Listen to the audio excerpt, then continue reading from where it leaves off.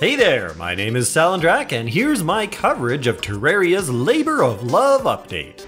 I did a live stream when the update was released and have subsequently reviewed all the patch notes, watched a few videos, and spent some time playing the game. And in this video, I'll be reviewing what I feel are the most noteworthy changes this update brings to Terraria. So let's get to it.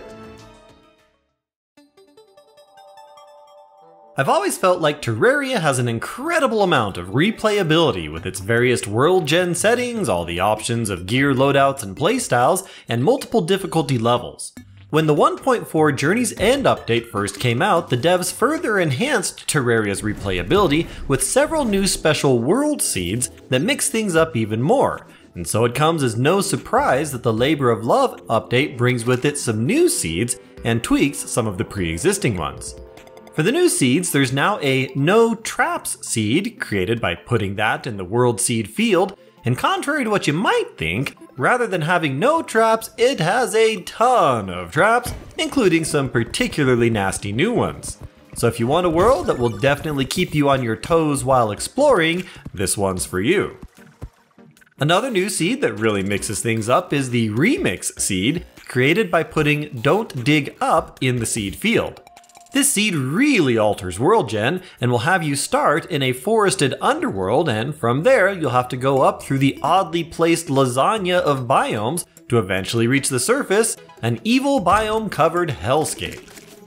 And finally, the last new seed is the Everything seed, also called the Zenith world, and is created by entering Get Fixed Boi as the world seed. This seed is a combination of various features of all the other special world seeds in the game, and is definitely not for the faint of heart.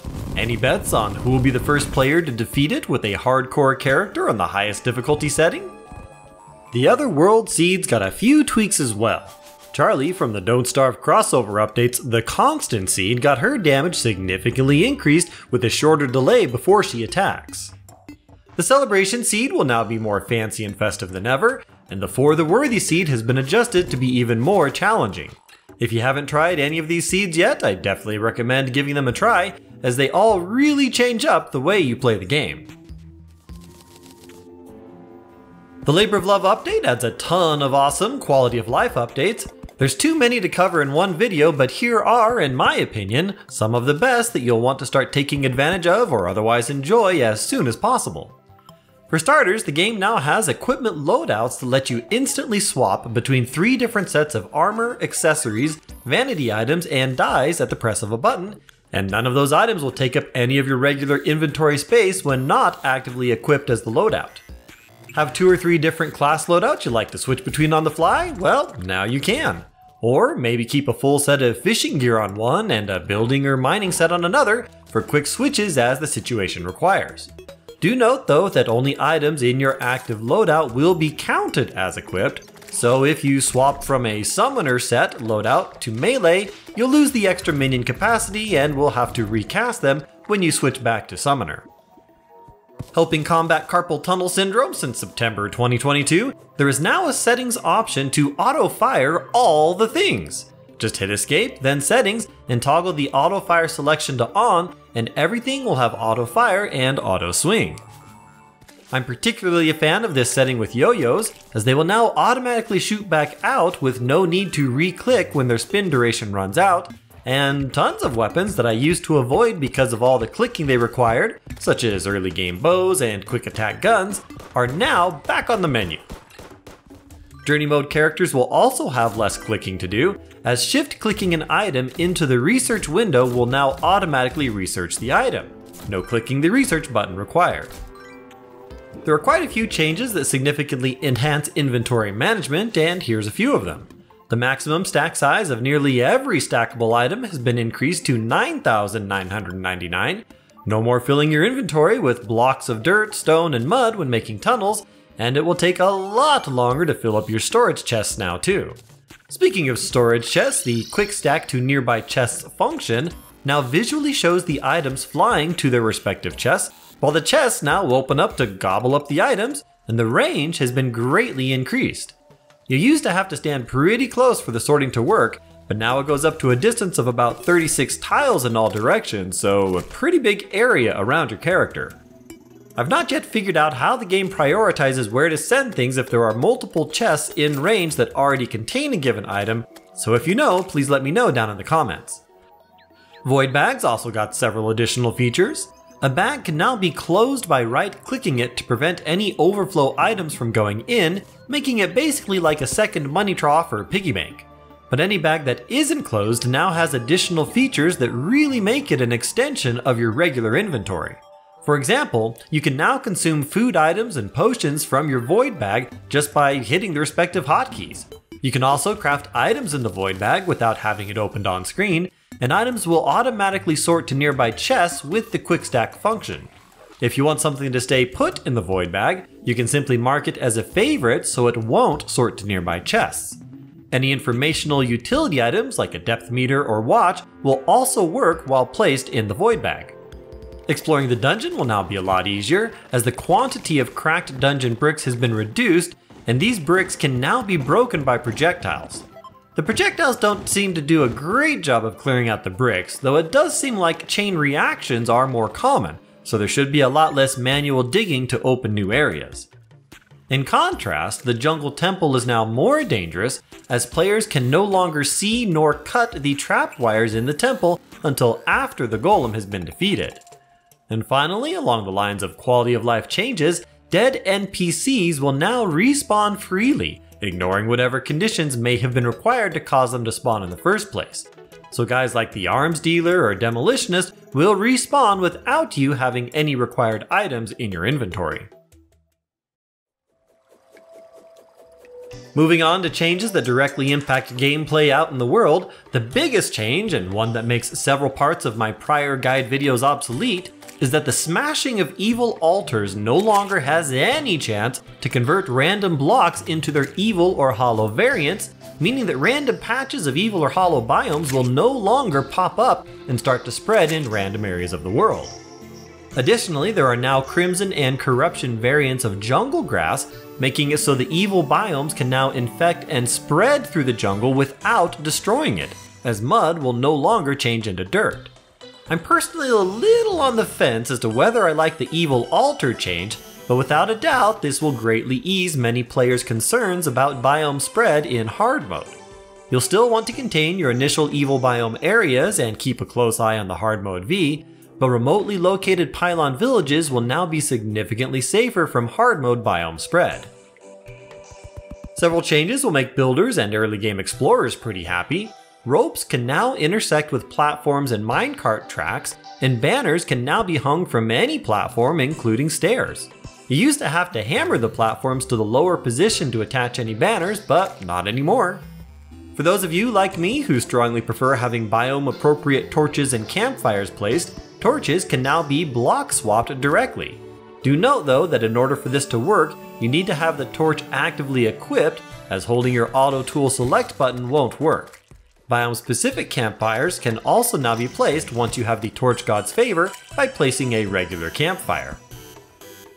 Shifting to buffs, the number of active buffs you can have before they or debuffs will start to override them has been doubled from 22 up to 44.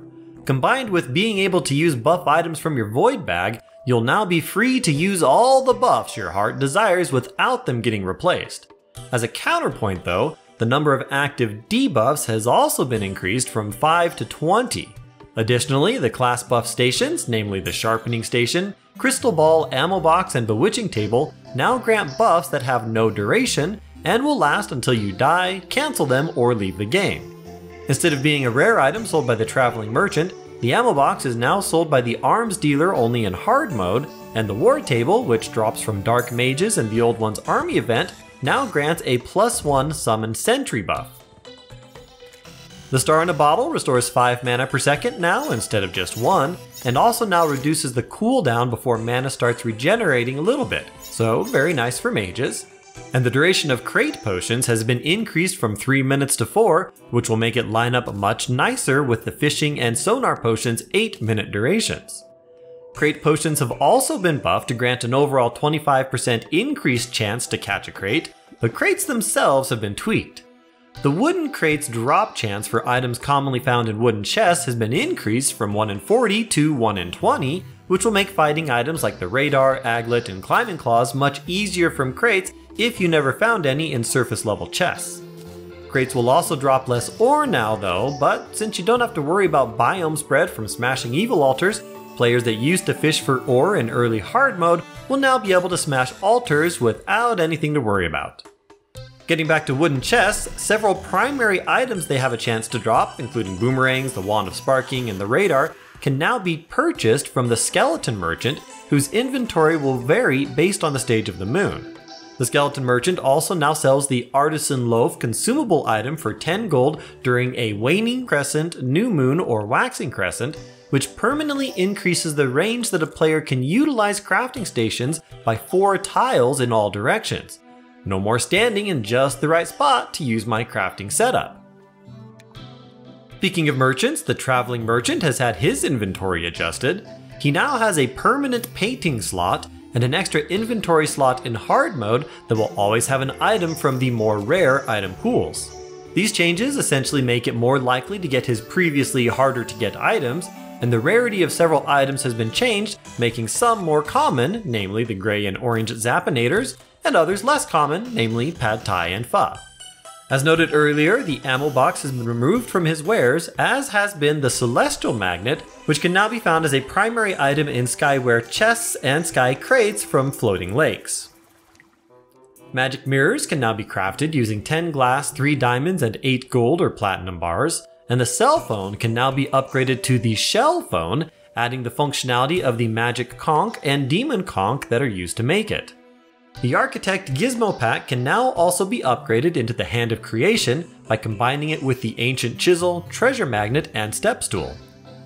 There's also a new builder item, the Rubble Maker, which is sold by the Goblin Tinkerer in hard mode and allows the player to place decorative background objects and is sure to delight all builders in Terraria. Next up are some new town pets, the Town Slimes.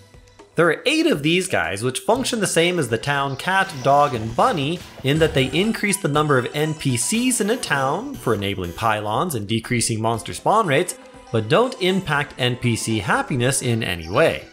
Each town slime has its own condition for enabling it to spawn, but I don't want to spoil anything for anyone that wants to figure them out on their own. If you want to know though, you can find the information on the town pets page of the wiki. Moving on to weapon and class rebalancing, all four classes got a lot of tweaking, but none got more than the melee class. In addition to the benefit of having auto swing for all your weapons, all flails got a knockback and hits per second boost when spinning around the player. Several spears, including the Rotted Fork, the Trident, and the Dark Lance, now have new effects, and previously stacked boomerang weapons, namely the Banana Ring and Light Disc, are now a single item, which allows them to get weapon modifiers. But the broadest and biggest benefits come to the broadsword category of weapons that basically includes all melee weapons that are swung overhead, including swords, axes, pickaxes, and hammers. Across the board, almost all of these weapons have had their combat stats increased, such as damage, attack speed, size, and or knockback. Several swords have also been given new visual effects to help differentiate them from other similar weapons. For example, the Light's Bane now has diagonal slashes of darkness that deal additional damage, while the Blood Butcherer has a stacking damage over time debuff it adds each time it hits an enemy. The Fiery Greatsword is now the Volcano and explodimates every time it hits something, and weapons like the Night's Edge, Excalibur, true versions of these weapons, and the Terra Blade now have a really cool circular attack that goes around the player. These are just a few of the many changes to the melee class and its weapons, but the moral of the story is this. If you've ever thought about doing a pure melee playthrough, now is definitely the time to do it. Ranger weapons also generally saw DPS improvements pretty much across the board, and even the Star Cannon got some knockback added, making it able to get the top tier Unreal modifier, which it previously couldn't have. Unlike Melee though, I'm not aware of any ranged weapons that got any new effects. Mages similarly didn't get any particular new effects added to weapons, but lots of mana costs and DPS numbers were adjusted. Additionally, base mana regeneration has been more than doubled, while the bonus for standing still has been reduced, with an overall net effect of letting mages stay on the move and get mana back much faster. And for endgame mages, the last prism now has a token amount of knockback, allowing it to get the top tier mythical modifier. As for summoners, well, they got more of a mixed bag of changes, and pre-hard mode summoners got nerfed pretty hard. The Snapthorn Whip got nominal damage and knockback increases, but its whip speed buff got reduced from 20% down to 12, and the Obsidian Armor's whip range bonus got reduced from 50% increased range down to 30% increased range, and the whip speed bonus chopped from 35% down to 15%. This set will still get the job done, and let's be honest, it was a bit overpowered before and probably deserved the nerf. Early game summoners will have a little bit of an easier time getting started though, as the spawn rate of Flinxes has effectively been increased, and the chance to get Flinx Fur has been increased by 50% overall on Classic difficulty and doubled in Expert and Master mode. As for the rest of the Summoner toolkit, both whips, summons, and sentries were adjusted in various ways that should result in a little bit more net damage. Much of this is due to changes to monster immunity frames, which affects all classes, and essentially reduces or eliminates situations where damage from one source, such as a minion or projectile hitting a target, would temporarily prevent an enemy from taking damage from another source of damage, such as the player directly dealing damage to the target at the same time. So yeah, overall lots of great changes to the classes, and combined with the ability to instantly switch gear loadouts on the fly, Players will be able to more easily enjoy the wide variety of playstyles Terraria has to offer, and Melee especially will feel a whole lot better throughout the game. Let's shift gears now and talk about other item changes I found particularly noteworthy. The Angler armor set now has a bonus that reduces enemy spawn rates, so you'll be better able to fish in peace. The Lucky Horseshoe accessory has been removed from gold chests and put back in Skyware chests, and the fledgling wings have been removed from being primary loot of the Skyware chests. They'll instead be much harder to get now, with only a 2.5% chance to be in Skyware chests and Sky and Azure crates. The Leaf Wings, which used to be sold by the Witch Doctor as soon as you entered hard mode, are now only sold after Plantera has been defeated, though their stats have been buffed to match other wings available at that stage of the game. So if you want wings in early hard mode, your best bets are Angel Wings or Demon Wings, crafted using feathers, Souls of Light or Night respectively, and Souls of Flight, or Fairy Wings made from Pixie Dust and Souls of Flight. Even better options, if you've managed to get the rare Giant Harpy Feather, are the Harpy Wings, and if you've had a snowstorm and gotten the Ice Feather from Ice Golems, you can make the Frozen Wings.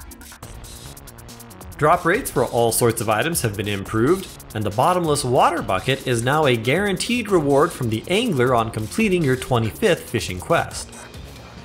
The Enchanted Sundial, which is obtained from hard mode crates, is now instantly usable whenever a natural blood moon or solar eclipse begins, so players will no longer have to suffer through the RNG of these events sometimes occurring back to back. The Tavern Keep now gives 10 Defender medals when you first talk to him, and the costs of tier 2 and 3 armor pieces and sentry weapons have all been reduced. Banners from killing mobs in the Old Ones army event now give a buff for fighting their related monsters, though it's not as strong as regular banner buffs. Truffle worms and prismatic lacewings, needed for spawning Duke Fishron and the Empress of Light respectively, now have their spawn rates affected by luck, which will make farming them a bit easier, and the Celestial Sigil, used to spawn the Moonlord manually, now costs only 12 of each lunar fragment rather than 20, and will spawn the boss 12 seconds after using it rather than waiting a full minute. Now let's talk about some mob and boss rebalancing, which includes some changes that I'm really a fan of. The protection radius around the player has been increased to prevent teleporting mobs from landing on top of you or quite so close, which will make unpreventable collisions far less likely. Nebula floaters also now have a half second delay after teleporting, during which they can't snipe you before you even realize where they are. Those two changes will make fighting the Nebula Pillar far less punishing, and they've also reduced the spawn of the Brain Sucklers, though the number of active predictors has been increased from 2 to 3. Solar pillars also got toned down a bit, as crawltipedes have had their damage reduced, and Corites, the biggest danger to players using the terrain to their advantage, now spawn less, charge slower, no longer charge from off screen, and have a brief wind up animation before charging. Vortex pillar tweaks include decreasing Alien Queen projectile speed, but increasing their movement speed, and Vortex portals now make a more distinct sound when spawning. The cap that previously prevented too many queens from spawning also now applies to the larva. Storm Divers will be better sharpshooters, but there is a visual effect before they fire that gives warning of the incoming shot. As for the Stardust Pillar, Stargazers similarly have a charge up effect before shooting, while large Stardust cells will be more resistant to knockback, and Weavers will move faster. One nice change that applies to all pillars is that after the Moon Lord has been defeated, you only need to kill 50 enemies to drop the pillar's shields, and the kills required to drop the shields on Expert and Master Mode difficulties is now the same as Classic. The Moon Lord himself got the damage and hitbox size of Phantasmal Spheres reduced, making them less dangerous, and the final boss will now drop two non-identical weapons every time he's defeated. Lots of other bosses got tweaked in various ways as well, Golem and Duke Fishron got their health increased, and Golem's fist punches can no longer be deflected back, but instead have a visual charge up effect a half second before firing. Plantera's despawn mechanics have been adjusted to make it far less likely to accidentally despawn her, such as when you move away right after breaking the bulb, and pretty much all bosses have been adjusted to take up more enemy slots, which will reduce or outright eliminate other enemies spawning during the fights.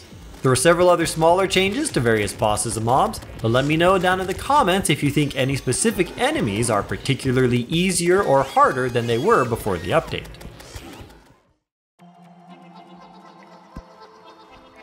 And last but certainly not least of the topics I want to mention in this video is the new Aether mini biome and the new feature it brings to Terraria, the Shimmer. The Aether biome will only be present in worlds created after the Labor of Love update was released and spawns in the outer fifth of the world on the same side as the jungle. You'll know you found it when the solid blocks and areas of darkness around you vanish and appear as if you are in space. This will happen once you're about a half screen away from the pool of Shimmer. The Shimmer itself is a strange liquid with mysterious properties, and has already been covered quite extensively by other content creators. I don't want to give away very many spoilers in this video about what all you can do with the shimmer, but suffice to say, what goes into the shimmer is not necessarily what will come out of the shimmer. Some consumable items will return as a new consumable that can provide various permanent buffs, while other items might change into a visually alternate version of the same item type. Some generally hard to get accessories can be obtained by throwing in different accessories into the shimmer, and some items, once submerged, will deconstruct into their material component parts, or even upgrade into new, more powerful items. Coins tossed into the shimmer will give you luck. The more valuable the coin, the greater and longer lasting the benefit. And NPCs, critters, and certain mobs will also transform. For a list of everything you can do with this new liquid, check out its page on the wiki and or videos put out by other content creators. But that's all for me on this update at this point. The Labor of Love was a huge and amazing addition to Terraria, and makes it that I'll have to go back through my previous Terraria guide videos and add pinned comments regarding any significant changes. And of course, I will incorporate these changes into all future videos in my Beginner's Guide series. Thanks for watching, please hit that like button, and I'll see you in the next one. Cheers!